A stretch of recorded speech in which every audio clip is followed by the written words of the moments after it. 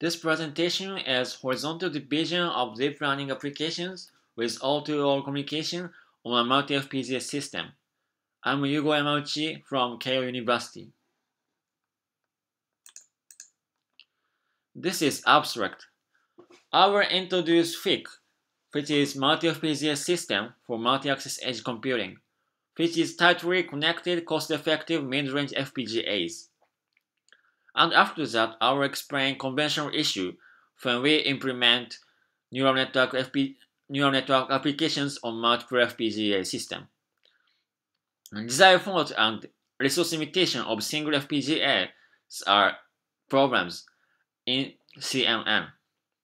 And after that, I will introduce proposed method. Implementation method, all FPGAs compute the same layer at a time and share all results synchronously. For this method, and design scalability and reduced design effort are achieved. And evaluation, we achieve scalability and performance and power efficiency using our proposed implementation method and FIC multi-FPGA system. And this is background about multi-access edge computing. Multi-access edge computing is migrating computing and computing resources on the cloud to the data center near the base station. For using multi-access edge computing, we can achieve power saving and low latency and anonymization. And multi-FPGA system is suitable for multi-access edge computing. This is because low latency and low power and flexibility is required are required for multi-access computing. So multi-FPGA system is suitable for multi-access computing. I will explain on previous FP, FP, multi-FPGA systems. And conventional multi-FPGA systems are like this. And these have uh, many defects about uh, high latency as it passes through the host CPU and one FPGA resource, resource limitation can be a bottleneck. And high-end FPGAs, which is connected each host, are costly. And this is another multi-FPGA system, Microsoft Catapult. And this is specific for being at least being such system. And so being pipeline processing make it less scalable. And each, each FPGA is a high-end FPGA. So a high-end FPGA is connected to a host. So it, this system is costly. This is our proposed multi-FPGA system. Tightly connected, cost-effective mid-range FPGAs. And these FPGAs are connected circuit switching networks, which guarantee latency and bandwidth and there is only one host CPU, and, and FPGAs are connected inexpensive Firefly cable. This enables uh, extension and scalability. And we can use this system like one large virtual FPGA. I will introduce FIC system. FIC is consisted of multiple special FPGAs FIC-SW and host CPU. FPGAs are connected with circuit switching network using high-speed serial links. Each FPGA has a circuit switching module. By changing circuit switching module's parameter, we can change connections. Deep learning applications, communications are, can be estimated before execution, so this circuit switching network is effective for deep learning applications. And the figure on the right side is present FIC system. There are 24 FIC SW boards. I will explain a special FPGA board used in FIC system, FIC SW. FIC SW has strong feature in communication and switching. FIC SW has 32 high-speed serial links, each have 9.9 Gbps bandwidth, and have Kintex UltraScale and, and, two 16 gigabyte DRAMs and Raspberry Pi 3. FPGA configuration bit file is sent by Raspberry Pi. Switching module in FPGA can change the destination through serial links. FIC-SW realizes circuit switching by static time division. In advance, we determine root before execution. This characteristic guarantees bandwidth communication delay. The root change is realized by changing the number of slots in the switch or writing to the buffer. This switch makes it easy to broadcast and multicast data. I will explain execution flow. First, we design HLS module for C++ functions, and after that connect these modules to the switch, switch module, and after that synthesis. And implementation on each FPGA using scripts and after that an input from the Raspberry Pi CPU. I will explain conventional implementation method of CNN on multi-FPGAs. Conventional implementation method is that each CNN layer is implemented in a separate FPGA. It's like, like a vertical division. The conventional method requires a design for each FPGA, so require, required much design effort. The number of FPGAs used for, for implementation is fixed according to the number of layers, so low flexibility and scalability. Our proposed method is like this horizontal division. Each FPGAs computes and share a part of every CNN layer. Compute one layer in parallel, and after that share the result with all-to-all -all communication. This method has the advantage of flexibility and reduce of design fault. The proposed method uses a common design file, which reduces the design fault. And the number of FPGAs used in the proposed method can be changed. Just change the parameter to complete the design for the number of FPGAs used. Therefore, the proposed method is scalable. The apparent disadvantage of this proposed method is that it requires all-to-all -all communication, data communication between FPGA boards. And so it is not suitable for traditional multi-FPGA systems with a simple linear network. Here, we tried to apply the method to FIC system which has a powerful network to enable efficient broadcasting. Our explain implementation, implementation modules. We implemented modules by HLS using C++ function. There are almost three modules. First, an communication module. And to achieve our proposed method, each module calculates only part of the loop, which is defined by board ID.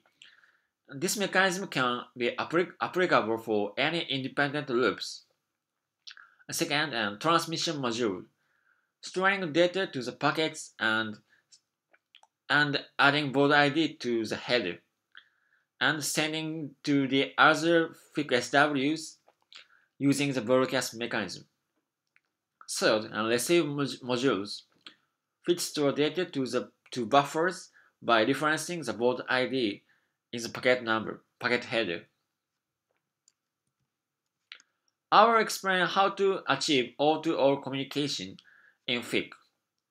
Firstly, each FPGA computes only partial result. After that, broadcast results to all FPGA. The root is defined by switch parameter before, beforehand. Finally, each FPGA receives all result data and aggregates these results, and each FPGA go on to the CNN next layer.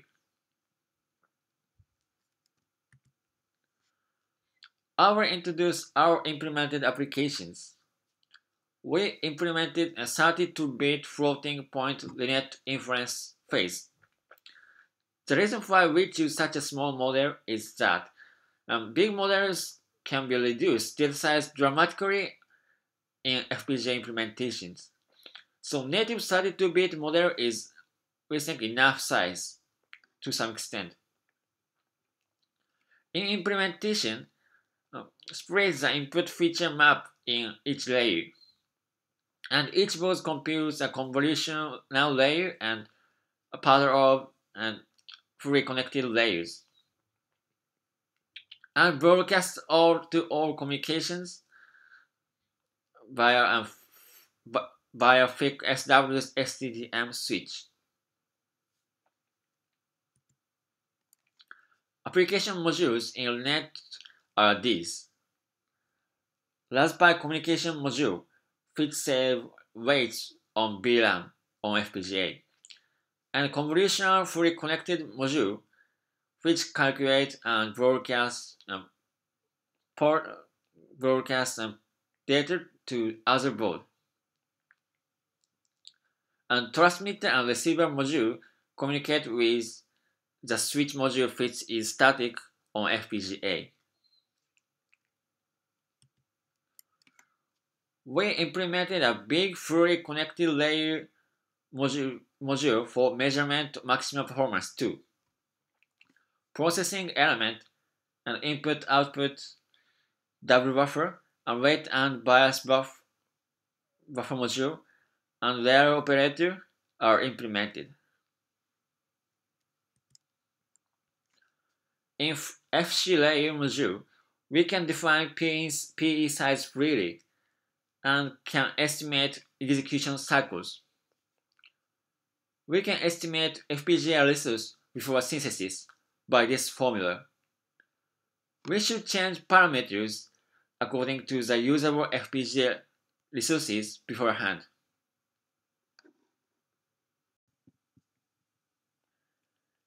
Evaluation. There are, these are evaluation environments. HSLS2 Vivado HLS and implementation 2 Vivado are two FPGA type uh, on FIC-SW. In LeNet evaluation, using 8 FPGAs achieves 7.5 times faster than a single FPGA. This indicates our proposed method has enough scalability DSP is the bottleneck of FPGA resources. We could use enough FPGA resources across several FPGAs for, for using a resource prediction formula. We compared high-end CPU execution and 12.6 times faster than the optimized software of a high-end CPU. This indicates our proposed method achieved enough low latency. In fully connected layer evaluation, achieved about 150 gigaops. BRAM and DSP is the bottleneck of FPGA resources. We could use enough FPGA resources across several FPGAs effectively. And performance per watt evaluation. FC layer evaluation achieves 7.2 gigaops per watt, which is better than previous research, research with high-end FPGAs. And this means proposed method and FIC system can use multiple FPGA resources effectively. Conclusion introduced multi-FPGA system FIC, tightly connected, cost-effective mid-range FPGAs, and which is, uh, which is uh, less cost, cost, costly and good at broadcasting and communication communication between FPGAs. And proposed CNN implementation method, computations and splitting mechanism of the or, uh, communication mechanism. This method has the advantage of flexibility and reduce of design fault. And evaluation, we confirmed three characteristics of proposed method and system. For scalability, LeNet evaluation shows that using L2 FPGAs achieves 7.5 times faster than a single FPGA, and performance and 12.6 times faster than high-end CPU optimized software. Third, power efficiency. FC layer evaluation shows 7.2 gigaops per watt, which is better performance per watt than previous research with high-end FPGAs. We achieved an efficient design method to run applications on FIC systems. Thank you.